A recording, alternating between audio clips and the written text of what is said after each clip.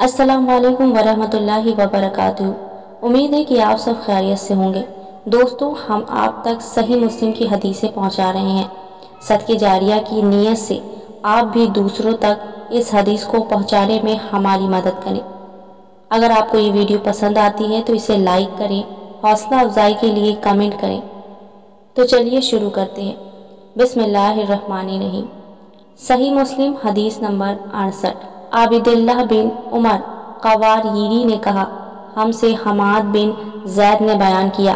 कहा, एक आदमी था, वो अयूब सख्तियानी की अमली मजलिस में हाजिरी का इल्तज़ाम करता था और इसने इनसे हदीस का क्षमा किया था। अयूब ने इसे गैर हाजिर पाकर इसके बारे में पूछा तो लोगों ने बताया, जनाब अबू बकर अयूब की कुनीत वो उम्र बिन अबीद से मंसलिक मसलिक हो गया है। हमाद ने कहा, एक दिन मैं अयूब के साथ था। हम सुबह सवेरे बाज़ार की तरफ़ गए तो इस आदमी ने अयूब का इस्तकबाल किया। अयूब ने इसे सलाम कहा और हाल अहवाल पूछा। फिर अयूब कहने लगे, मुझे ये बात पहुँची है कि तुम इस आदमी के साथ मंसलिक हो गए हो। हमाद ने कहा, उन्होंने इसका, यानी उम्रों का नाम लिया। वो कहने लगा हाँ जनाब अबू बकर, वो गरायब ऐसी बातें जिन्हें कोई नहीं जानता, हमारे सामने लाता है। कहा अयूब इससे कहने लगा, हम इन्हें अजीब व गरीब बातों से भागते हैं या डरते हैं कि ये झूठी और मनगढ़ंत होती हैं। सही मुस्लिम हदीस नंबर उनहत्तर। सुलेमान बिन हरब ने कहा हमसे इब्न जैद यानी हमाद ने बयान किया। कहा अयूब से अर्ज़ की गई।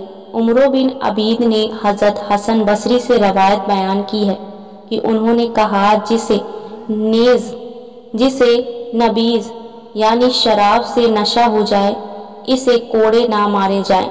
तो उन्होंने अयूब सख्तियानी ने कहा, इसने झूठ बोला। मैंने खुद हसन से सुना, वो कहते थे, जिसे नींद से नशा हो जाए, इसे कोड़े मारे जाएँ। सही मुस्लिम, हदीस नंबर सत्तर।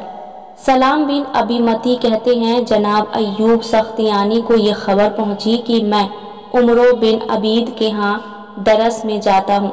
तो एक दिन वो मेरे पास आए और कहा, तुमने गौर किया एक ऐसा आदमी जिसके दीन पर तुम्हें एतबार ना हो।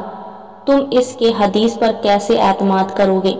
सही मुस्लिम हदीस नंबर इकहत्तर। सुफियान ने बयान किया, कहा, मैंने Abu Musa, Israel bin Musa Basri, नजील हिंद से सुना।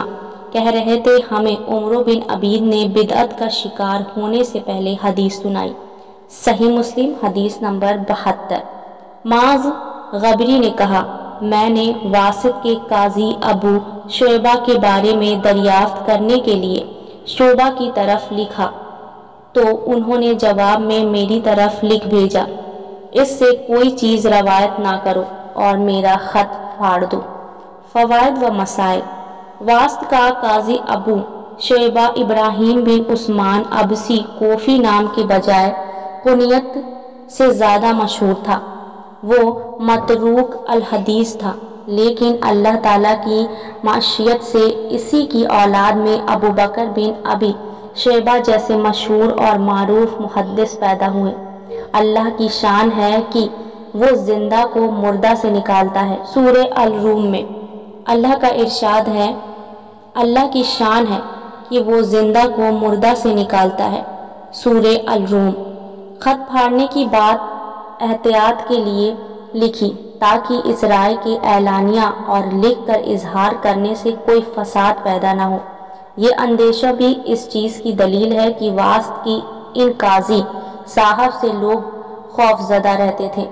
नुकसान या फसाद के अंदेशे के बावजूद इल्म हदीस के रावी की सही हैसियत मुतन करने में कोई कोताही जायज़ नहीं, क्योंकि रसूलुल्लाह सल्लल्लाहु अलैहि वसल्लम की तरफ़ किसी बात की गलत नस्बत से बड़ा फसाद या नुकसान और कोई नहीं हो सकता।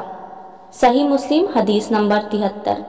अफ़ान बिन मुस्लिम ने कहा, मैंने हमाद बिन सलमा को सालह मरी के वास्ते से एक हदीस सुनाई, जो इसने साबित से रवायत की। तो उन्होंने हमाद ने कहा, इसने झूठ बोला। इसी तरह मैंने हमाम को सालह मरी से एक हदीस सुनाई। तो उन्होंने भी कहा, इसने झूठ बोला। आज के लिए इतना ही। मिलते हैं नेक्स्ट वीडियो में। उम्मीद है कि आपको वीडियो पसंद आई होगी। तब तक के लिए इजाज़त दीजिए। शुक्रिया। जजाकल्ला